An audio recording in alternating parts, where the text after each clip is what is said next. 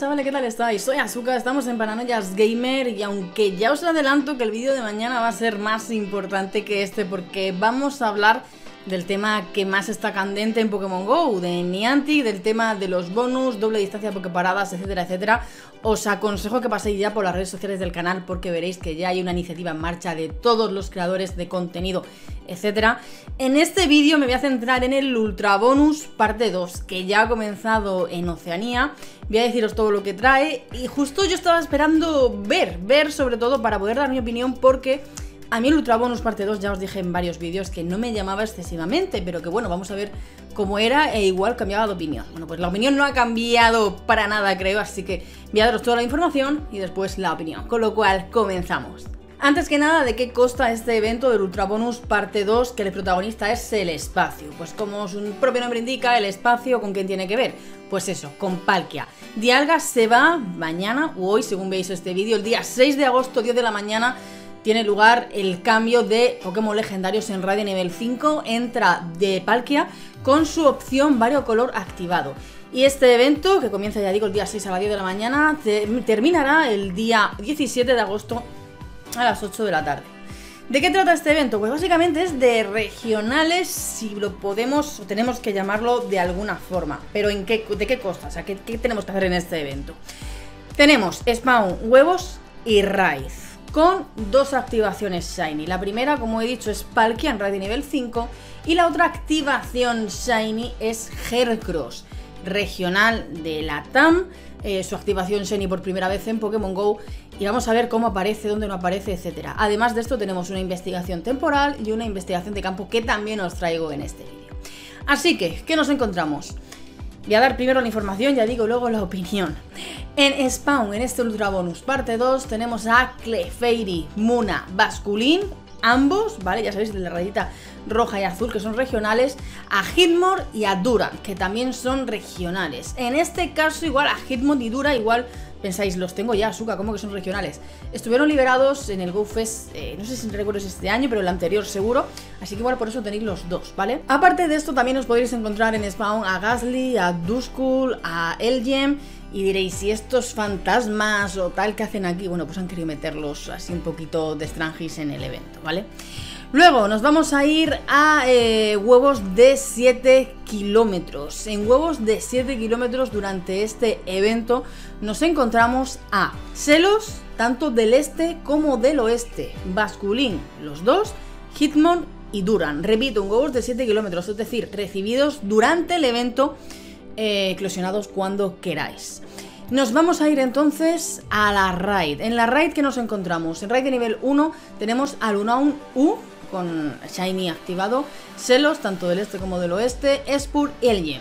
En raid de nivel 3, Alakazam, Kangaskhan y Hercross. Estos dos últimos Pokémon tienen activación Shiny, Kangaskhan de hace ya tiempo, Hercross como he dicho es el estreno Shiny de este evento.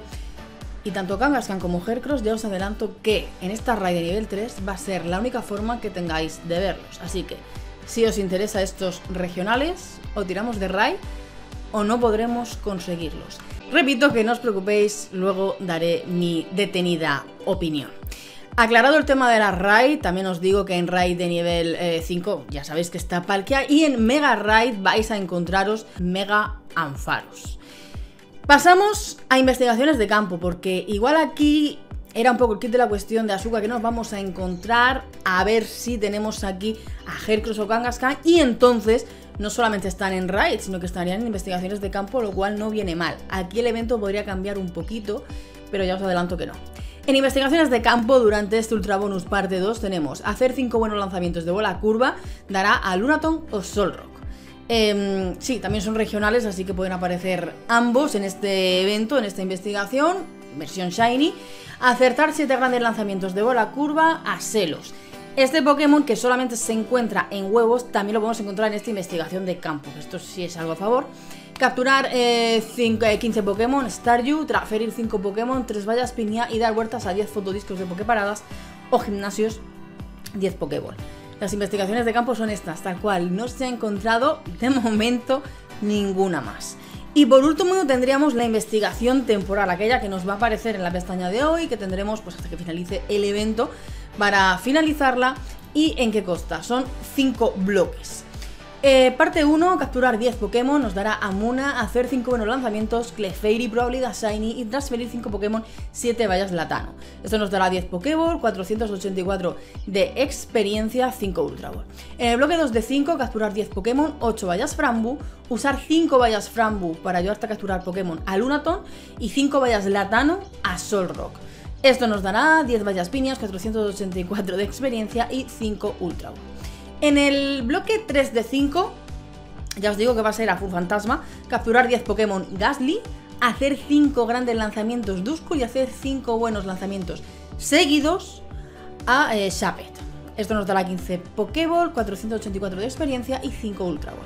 Pasaríamos al bloque 4 de 5 donde tenemos que capturar 15 Pokémon, nos dará 6 Vallas Pinia, acertar 7 grandes lanzamientos de bola curva nos dará a Celos del eh, este y hacer 7 buenos lanzamientos de bola curva seguidos a Selos del oeste. 12 vallas Frambu 484 de experiencia, 5 Ultra Ball. Y por último, el bloque 5 de 5, capturar 6 Pokémon de tipo psíquico a Elgin, ganar una incursión Spur y hacer dos lanzamientos excelentes, una valla piña plateada. Esto nos dará 20 Pokéball, 3 de polvo estelar y 5 Ultra Ball. Aquí tendríamos la investigación temporal, ya digo, junto con las misiones de campo, raid, spawn, huevos, es todo el ultra bonus. Realmente a mí no me llama nada salir a la calle a jugar esto, o sea, soy sincera. Y me queda eh, Hercross para completar la platino de Yoto, que tiene el estreno Shiny, tiene todo, pero claro, no tener ni una eh, captura de estreno Shiny en Spawn. De hecho, el Spawn a mí no me llama prácticamente nada, son Pokémon bastante comunes. Tienes que tirar de raid sí o sí tanto para como para Kangaskhan, teniendo en cuenta además si sois de Latan, es un consejo que os doy, que luego Hercross se queda activado ya Shiny, lo tendréis allí. Esto le sumamos una investigación temporal con recompensas normalitas, porque los Pokémon que te dan son los que te puedes encontrar prácticamente. Investigaciones de campo bastante mediocres. Em, el Ultra Bonus parte 2 es justo lo que me esperaba. Pues un evento más sin pena ni gloria. El Ultra Bonus parte 1 por lo menos tenías a Cranidos y Sheldon, era el estreno del 1 1U, etcétera, y, era más llamativo. Este realmente es que me pongo a pensarlo y me da pereza, me da mucha pereza. Iba a hacer noche de raid para intentar sacar a Hercross Shiny, pero ahora mismo, tal y como está el panorama en Pokémon Go, no lo voy a hacer. Probablemente haga alguna raid para hacer registro, ya digo, y completar la platino de Yoto. Eh, porque me da un pase remoto, más los gratuitos, etcétera. Entonces, igual hago ahí un vídeo. Pero no, no me da ganas, como a hacer con Cizag, una bonita, de decir, bueno, eh, me quiero gastar el dinero, me lo gasto y ya. Es que no, no considero que la empresa se lo haya merecido, la verdad, tanto como para, para eso. Entonces, esto es el evento. Dejadme en comentarios qué pensáis. Y os adelanto un par de cosas. Ya digo que mañana tendremos vídeos sobre el comunicado, el mensaje que hemos lanzado desde redes sociales a Niantic. Veréis que Pokeminer ha sacado un comunicado precisamente con el eh, leveo de Pokeparadas y gimnasios. Y gimnasios también, Azúcar, sí. Pero que no queda muy claro. Realmente es Niantic la que tiene que dar una respuesta, la que tiene que dar explicaciones, y no Pokeminer de lo que encuentra en el código, que por supuesto hace un trabajo espectacular y excelente pero considero que es Niantic la que tiene que dar un poco la cara y de momento, bueno, estamos prácticamente todos los creadores de contenido involucrados y por el momento estamos a la espera. Así que mañana os traeré vídeo de todo esto, Ultra Bonus parte 2. Mi consejo, eh, ir a por Palkia, que bueno, entre Palkia y Dialga yo me quedo con Dialga, pero aún así es un Pokémon muy bueno, tiene la opción color pero que entiendo que el tirar de raid o huevos se ve mucho el primero. Así que espero que este tipo de eventos se dejen ver bien poco por el juego, porque por lo menos a mí no me llama nada. Aún así os traeré algún vídeo, ya os digo que necesito ese platino de Yoto, la investigación temporal la suelo hacer, así que chicos, nos vemos en el próximo vídeo aquí en Paranoias Gamer. Un saludo.